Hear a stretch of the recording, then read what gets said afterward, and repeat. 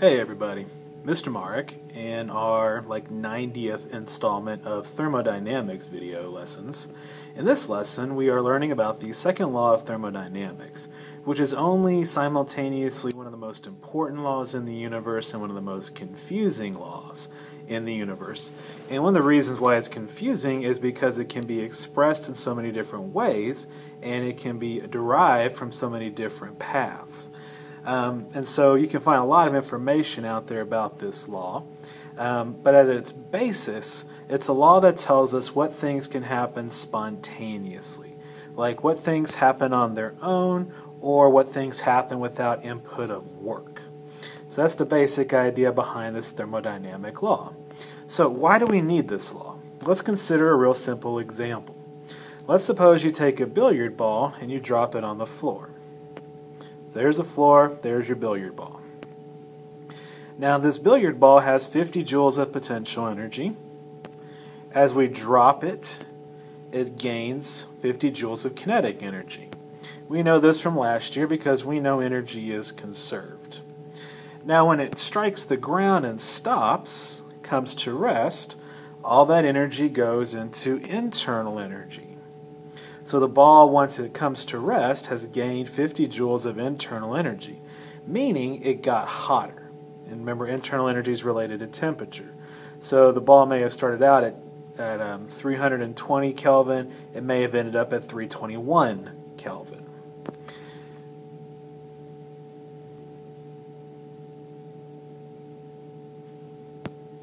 Now, this is a process that will happen by itself you do not have to do any work in order to turn that potential energy into kinetic energy, and then from kinetic energy to internal energy. That's a process that happens spontaneously.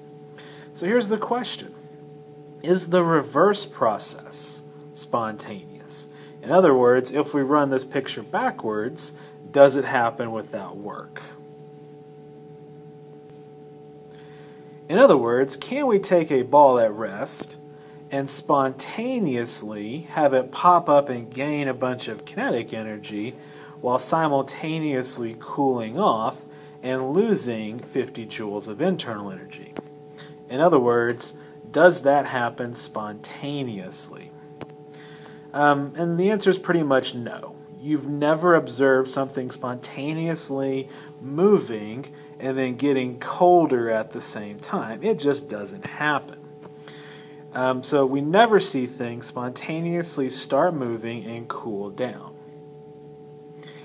Now the thing is, that does not violate the law of conservation of energy. Conservation of energy says that that should be able to happen.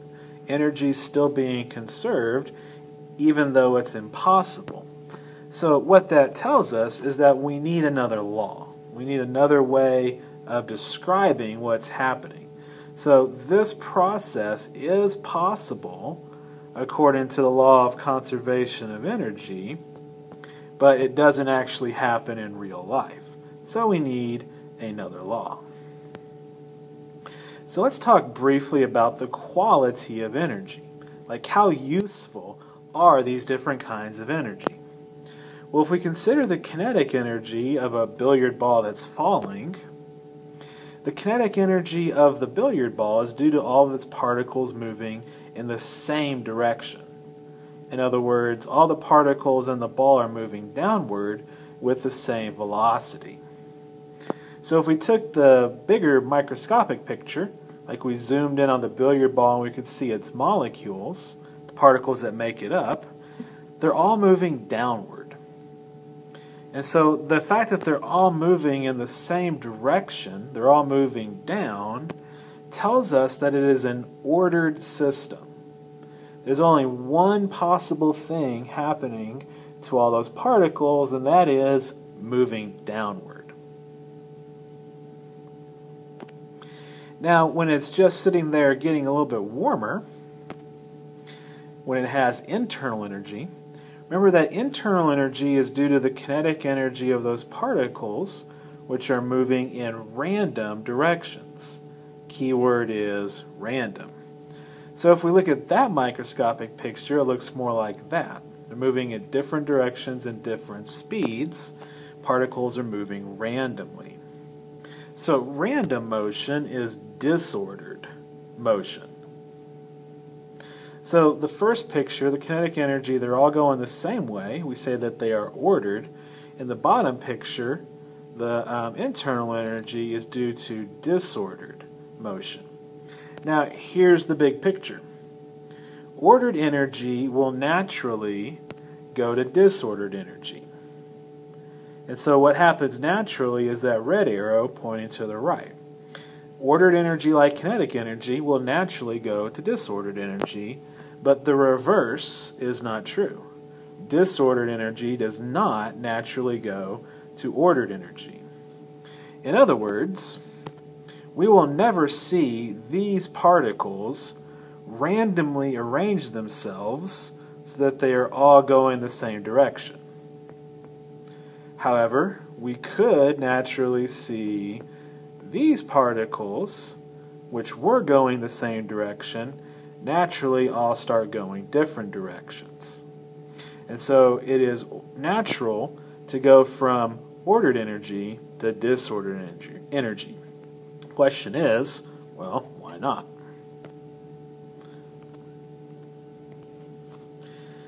In order to answer that question, we need to do a little bit of investigation on probability and chance. In order for us to go from disordered to ordered energy, all of the particles would spontaneously, meaning on their own, start to move in the same direction. Now, we're not going to go through the statistical proof of that, um, but the statistical probability of that happening is so small that it is effectively zero.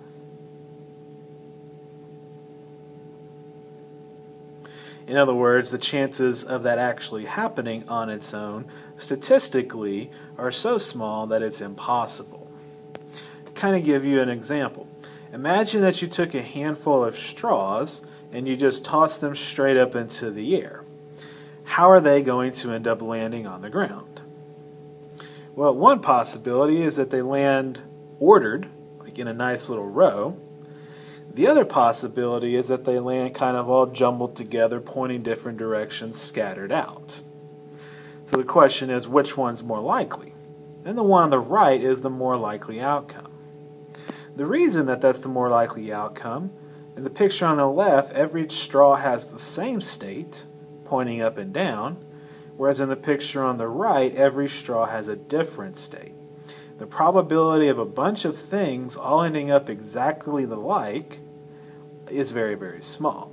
So if you took a dozen straws and you tossed them up in the air and let them fall, you could probably live a thousand years and never have them land just like that. Statistically, the odds of that happening are zero. So the, th- the same thing is true about particles in motion and their energy. And the big idea we use to describe um, this concept of disorder being favored is referred to as entropy. Entropy is a measure of disorder or randomness in a system. Disorder, randomness, meaning um, more states are possible. So to kind of draw a little chart, I'm going to put some high entropy examples on the left side and put some low entropy examples on the right side. The kinetic energy of a moving ball is an example of highly ordered energy. The internal energy of a ball that hit the ground and got hot is an example of low entropy. Ordered straws, high entropy. Disordered straws, low entropy.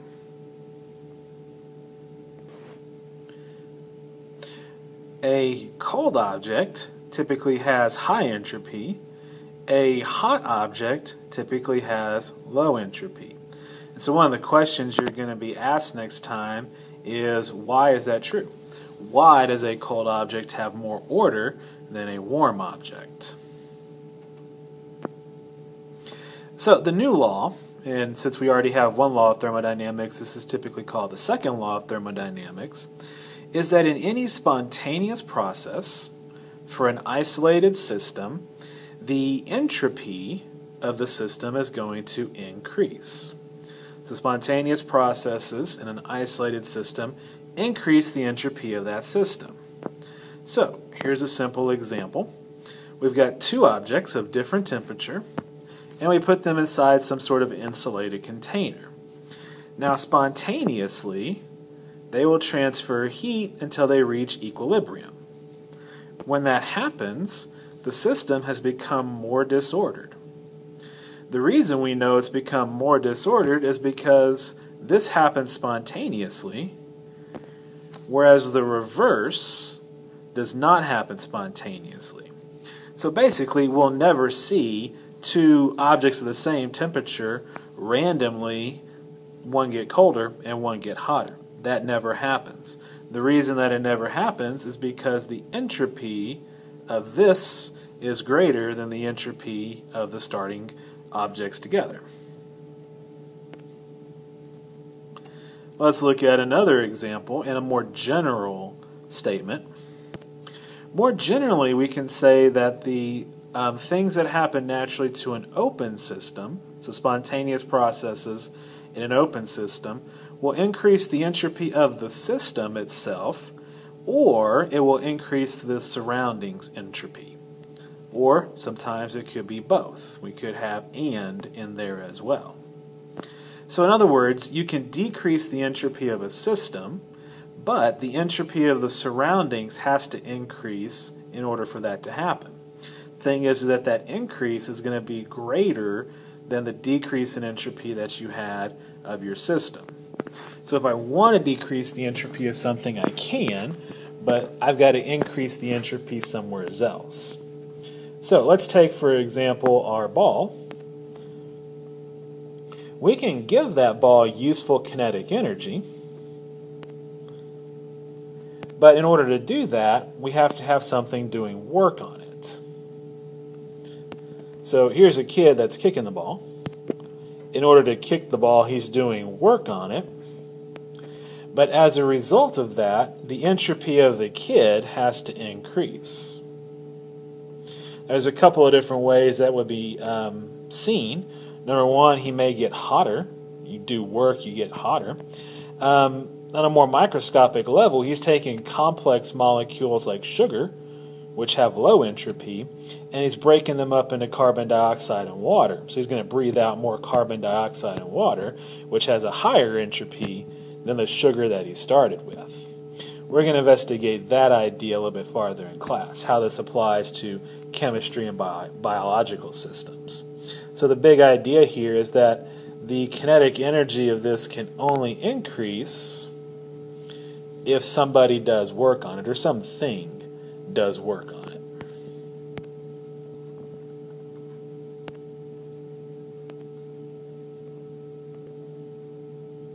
So there are three consequences of the second law of thermodynamics we need to understand.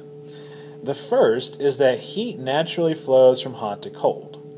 Going backwards would cause a decrease in entropy, which does not happen on its own. The second is that no heat engine can be 100% efficient. In reality, the second law of thermodynamics limits it even more than just saying it can't be 100% efficient. For example, thermodynamics says your car engine is never going to be more efficient than about 33%, if I remember correctly. That's a fundamental law of nature. That's what the, therm- the second law of thermodynamics tells us. And then the third consequence is that energy goes to thermal energy over time. In other words, energy degrades over time. So, to kind of go back to this idea of the quality of energy, when entropy increases, that means that there's less useful energy with which you can do work. This also means that in any exchange of energy, useful energy gets degraded to internal energy. In other words, things get hotter. That's always going to be true. And then if we take that idea all the way, basically we can kind of think a little bit um, and come to the conclusion that if all of our energy is getting wasted, it's all going to useless energy, eventually there's not going to be any useful energy left in the universe. Um, so essentially, we're all doomed, and the universe is eventually going to end with no more useful energy, and then we're, we're all doomed. Um, and so that's kind of the, um, I guess, the depressing end of this.